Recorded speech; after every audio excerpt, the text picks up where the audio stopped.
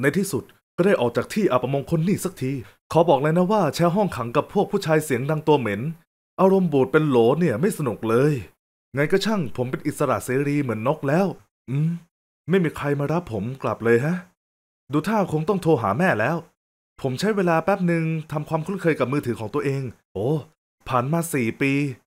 โชคดีแค่ไหนแล้วที่ผมไม่ได้กลายเป็นคนบ้าขาเป๋ไปซะก่อน ผมติดคุกยังไงน่ะเหรอ ตลกสิ้นดี ผมก็แค่ขโมยของมาจากโกดังที่สองที่ แล้วก็เอาไปขาย เรื่องใหญ่ที่ไหน ไงแม่ นิโคลูกแม่เองพ้นโทษแล้วและช่วยมารับผมกลับทีผมพูดทันทีที่ได้ยินเสียงแม่ โค โอ้ แม่ นี่แกรู้ตัวไหมว่าทิ้งภาระอะไรให้แม่แกบ้าง พ่อผมนี่ทำตัวเวอร์เก่งจริง ๆ แต่ผมก็ต้องหาที่ซุกหัวนอน ก็ต้องรับมือไป แต่พ่อแม่เอาหน้า ผมยังเป็นลูกในไส้นะ ทำใจเห็นลูกตัวเองนอนกับหนูท่อลงเหรอ พ่อเงียบไปครู่หนึ่งก่อนจะพูดเข้ม อยู่ได้แค่สองสามอาทิตย์เนาะและนี่ก็เพื่อแม่แกทั้งนั้น ใจหลายครับพ่อเด็ดมากครับ โอเชะพ่อแม่ผมเนี่ยสั่งได้ดังใจ นี่แหละชีวิตผม เล่นเกมทั้งวันแล้วปาร์ตี้ทั้งคืน แล้วคืนหนึ่งผมก็เตรียมพร้อมจะไปเจอเพื่อน ชื่อมูส แม่ก็บอกว่ามีคนส่งพิซซ่ามาหาหน้าประตูแล้ว ผมตะโกนบอกท่านไป ออกไปให้ผมก่อนนะ เดี๋ยวรอบหน้าผมจะจ่าย ผมตั้งหล่อเสร็จแล้ว แล้วบอกเลยว่าผมดูเฟี้ยวมาก ผมลงไปในครัวแล้วหยิบพิซซ่าชิ้นหนึ่งพ่อนั่งหลีตามองผม พร้อมรายงานในมือ ถ้าแกไม่มีเงินจ่าย พ่อว่าแกอย่าสั่งมันเลย ท่านมองพิซซ่าในมือผม แม่เดินมาข้างหลังพ่อแล้ววางมือบนบ่าท่าน คุณคะ ให้เวลาลูกหน่อย ลูกยังปรับตัวกับชีวิตนอกคุกอยู่เลย ขอบคุณครับแม่ น่ารักจังเลย ผมจูบแก้มท่านด้วยปากที่เละพิซซ่า เอิมขอตังค์แม่หน่อยได้ไหมครับ พ่อสายหน้าแล้วถอนใจ ส่วนแม่ก็เดินไปที่กระเป๋าตังค์แล้วส่งเงินให้ผม นี่ มีเวลาหางานแล้วรับผิดชอบชีวิตตัวเองผมถืดหน้า ตอนนี้ผมมีเวลาสี่ปีต้องชดใช้ย้อนหลังแน่ครั้งหนึ่งผมยืมรถพ่อสาบานว่าดื่มเบียร์แค่ไม่กี่แก้ว แต่โลกก็วูบวูบเบอร์เบอร์ไปหมด รู้ตัวอีกที ผมก็เอารถไปจิ้มสวนหน้าบ้านของเพื่อนบ้าน โอ้ผมลืมตาขึ้นมาในเช้าวันถัดมาพร้อมอาการปวดหัวแทบแตก ผมเลยอยากได้กาแฟดำและเบคอนตามจาน แต่กลับได้สายตาอาฆาตของพ่อแทน ทั้งที่คิดว่าแกเหลวไหลได้มามากพอแล้ว แกก็เอารถพ่อไปโดยที่ไม่ขอ และเมาหัวราน้ำแถมขับรถชนกุหลาบแสนรักของกอเรียอีก เย็นหน้าพ่อ เดี๋ยวผมก็แก้ให้หน้า ผมพูดพร้อมกับรื้อตู้เย็นหาของกิน แกไม่ได้จ่ายค่าเสียหายก็พูดได้ เราตัดสินใจแล้ว แกมีเวลาเก็บของออกไปหนึ่งอาทิตย์ เดี๋ยวก่อนนะ ผมไม่มีที่ไปเลยนะ อยู่กับมูสไม่ได้ด้วย เพราะเขาก็นอนในโรงรถของพี่สาวอยู่ และผมไม่รู้จักใครแล้วทำยังไงเนี่ย เออ ผมต้องใจเย็นก่อน ผมเลยหยิบมือถือออกมาแล้วถ่ายแอปหาคู่ แล้วก็เจอสาวผมบลอนสดสวยชื่อทรูดี้ เธอแก่กว่าผมหน่อย แต่ครอบครัวเธอร่ำรวย มยังมีธุรกิจส่วนตัวด้วย นอกจากนี้เธอยังแซบกว่าพริกทั้งสวนอีก แต่ก็รูปเธอดูแตกๆไปหน่อย แต่คิดว่าเทรนเลโทคงกำลังมา ดูเหมือนผมจะได้ทั้งสองอย่าง รักและเงิน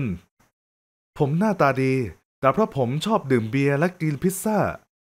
และไม่ได้ชอบออกกำลังกายหุ่นผมเลยไม่เป๊ะนัก แต่ผมต้องทำให้เธอสนใจผม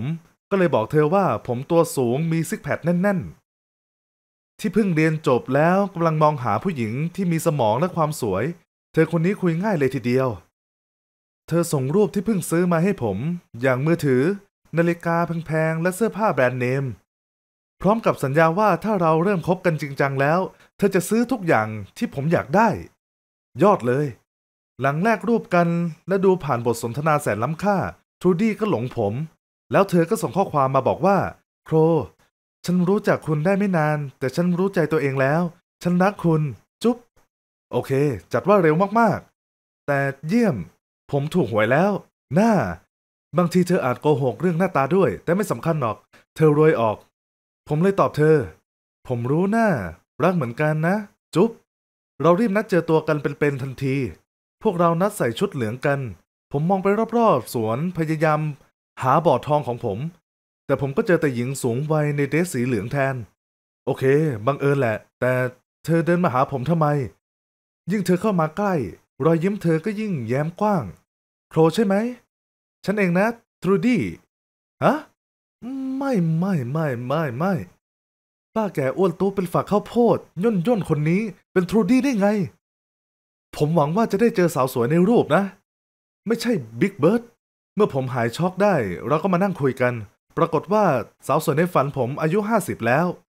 ทั้งคุณลักษณะและรูปล้วนเป็นตัวจริง แต่เมื่อ30ปีก่อนนู่น เธอกำลังอยู่ในช่วงวัยทองแง่เลยแบบนี้ คุณเองก็ไม่ตรงปก เธอยิ้ม คุณสูงกว่าฉันนิดเดียว แล้วไหนล่ะหุ่นฟิตฟิตๆเอาล่ะก็แฟดี ผมแซงยิ้ม ใช่ แม้คุณจะดูต่างออกไป ผมว่าคุณก็สวยมากอยู่ดี คืนนั้นผมนอนไม่หลับ นี่มันเกินคาดไปไกลมาก คือทรูดี้เขาไม่ใช่สเปคผมเลย แต่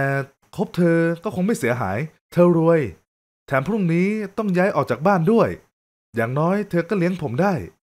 ดังนั้นผมเลยแชทไปหา ที่รักคุณสวยมาก และผมอยากทำให้ชัดเจน จุ๊บ วันถัดมาผมเลยย้ายไปอยู่กับทรูดี้ ผมอวดนิดนึง อพาร์ตเมนต์เธอหรูมากๆ มีอุปกรณ์ทันสมัยเพียบ เหลือเชื่อ พอเห็นเธอแก่ขนาดนี้ คงไม่น่าใช้เป็นเท่าไหร่หรอก ธอทำงานหนัก เวลาส่วนใหญ่ผมเลยอยู่บ้านคนเดียว แล้วผมก็ดูการ์ตูนและหนัง กินมันฝรั่งทอด และเล่นวิดีโอเกมได้เต็มที่ตามต้องการ ครั้งหนึ่งผมดูหนังอยู่ประตูก็เปิด แล้วคนที่มาคือผู้ชายตาเฉียบ ผมตะโกนใส่เขา เฮ้ยนาย เข้าผิดห้องแล้ว เขาขำเบาๆแล้วตอบ ขอบอกเลยว่าถูกแล้ว ฉันอเล็กซ์ ลูกของทรูดี้ ส่วนนายคงเป็นโคล อยากจะบอกว่ายินดีที่ได้เจอแฟนหนุ่มจอมปอกลอกของแม่ตัวเป็นๆหรอกนะ แต่น่าเสียดายผมไม่ชอบอะทรูดี้มีลูกชายเหรอ แล้วดูหน้าตาเขาแก่กว่าผมซะอีก แล้วเขามาด่าผมว่าปอกลอกได้ไง คือผมก็ใช่แหละแต่ เขาไม่มีสิทธิ์ด่าผมแบบนี้ ที่แย่กว่านั้นคือเขาไม่ยอมกลับ เขานั่งในครัวรอแม่ตัวเองกลับมา และเขาก็ทะเลาะใหญ่โตกับเธอ ซึ่งเขาว่าผมไม่เอาไหนแถมจน เรื่องผมกับพ่อแม่ก็ไม่ดีขึ้นเลยเหมือนกัน พ่อบอกให้ผมอยู่ด้วยลำแข้ง แล้วหางานดีๆ ไม่ใช่ขอผู้หญิงกิน ส่วนแม่ผมได้แต่ร้องไห้ ไงก็ช่าง ความผิดพวกท่านนั่นแหละที่ไล่ผมออกมา คาดหวังอะไรจากผมเนี่ย นอนใต้สะพานเหรอสองสามวันหลังจากผมเจออเล็กซ์ทรูดี้ก็ลากผมไปที่งานเปิดตัวสินค้าเหยๆอะไรสักอย่าง ทันทีที่ผมถึงงานผมก็ตรงไปที่โต๊ะบุฟเฟ่ทันที ผมยัด quiche จิ๋วใส่ปากอยู่ แต่ก็มีสาวคนหนึ่งเดินมาข้างๆผมแล้วพูด คิดเหมือนกันเลย ผมมองเธอหน้ามึนๆแล้วเธอก็ชี้ที่อาหาร พวกเราตรงมาหาอาหารเหมือนกันเลยนะ ผมขำเพราะเธอตลกมากและสวยด้วย สวยสุดๆ เธอชื่อเบียทริสและเธอทำงานให้ไอ้เจ้าอเล็กนั่น หลังจากนั้นผมก็เริ่มเจอแม่สาวเบียทริสนี่บ่อยขึ้น เพราะเธอโผล่มาพร้อมอเล็ก และระหว่างที่เขากำลังทะเลาะกับแม่ ซึ่งมักจะเป็นเรื่องผม ผมก็คุยกับเธอ ผมเลยรู้ชีวิตเธอก็ไม่ได้สบายนัก เธอค้างค่าเช่าบ้าน เพราะพี่ชายสันหลังยาวของเธอขโมยเงินไป ล้างผลาญจนเกลี้ยง ผมรู้สึกสงสารเธอ ก็เลยหยิบซองใส่เงินแน่นที่ทรูดี้ให้มา แล้วส่งให้เธอ โอเค ผมคงซื้ออะไรใหม่ ๆ ไม่ได้ไปสักสองสามอาทิตย์ แต่คุ้มแหละ แค่ได้รู้ว่าเธอโอเคก็ดี เอาจริง ๆ นะ ผมตกหลุมรักเบียร์ทิสเข้าแล้ว แต่ก็ทำอะไรมากไม่ได้ เพราะผมอยู่กับทูดี้แล้ว และต้องพึ่งพาเงินของเธอ ไม่นานทุกอย่างก็เริ่มแย่ลง ผมออกมาจากห้องน้ำก็เจอทูดี้ยืนอยู่พร้อมถือโทรศัพท์ผมทำได้ยังไง เธอปาใส่ผม ใช่ คือเธออ่านข้อความที่ผมคุยกับมูสแล้ว ทั้งที่ว่าหาเสน่ห์ในตัวเธอไม่เจอ และผมอยู่กับเธอแค่อยู่ฟรีทรูตัวเองมามาข้อความนั้นผมก็แค่ขำๆ ผมขำ แค่พูดเล่นไปเรื่อยปุบปากไอสารเลว คุณว่าฉันน่าเกลียด อเล็กพูดถูก คุณหลอกฉันเพื่อเอาเงินและหนักกว่านั้น คือคุณไม่ได้เรียนต่อ ไม่เลย คุณเคยติดคุก ผมกำลังใช้เสน่ห์ฉบับโค แต่อเล็กกับเบียทิสก็บุกเข้ามาในห้อง อเล็กตวาดใส่ผมทำไมทำตัวต่ำแบบนี้ ไอ้แมงดาหน้าไม่อายน่าเกลียดสิ้นดี ฉันบอกให้แม่โทรแจ้งตำรวจแล้ว เบียทิสพูดแทรก อย่าเลยนะ โคทำผิดจริง แต่เขาไม่ได้ทำเลวซะหน่อย นะ ผมซึ้งใจมาก พอมองไปรอบๆ ก็เห็นทรูดี้ร้องไห้ อเล็กซ์โมโหมากจนตาแทบถลน ส่วนเบทิสก็เธอดูผิดหวัง ผมเลยเก็บของแล้วออกไปด้วยความอับอาย เรื่องนี้ก็ผ่านมาสองสามเดือนแล้ว และตอนนี้ผมมีงานทำแล้ว แม้ว่าจะต้องกลับไปอยู่บ้าน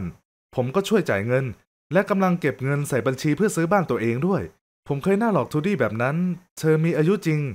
แต่ก็มีหัวใจด้วย และผมผิดที่ทำแบบนั้นกับเธอ ตอนนั้นผมทำเลวแบบไม่มีข้อแก้ตัวเลย ผมต้องการแค่อยู่กับเบียทิสอย่างมีความสุข ผมรักเธอจริง ๆ ผมเลยขอเธอเป็นแฟน แต่เธอปฏิเสธ โอ้เจ็บอยู่นะ แต่ผมก็ไม่ยอมแพ้หรอก บางทีเธออาจจะให้โอกาสดูถ้าเห็นผมเปลี่ยนไปแล้ว ผมแก้ไขอดีตไม่ได้ ผมทำได้แค่เปลี่ยนแปลงตัวเองแล้วเดินหน้าต่อไปก็เท่านั้น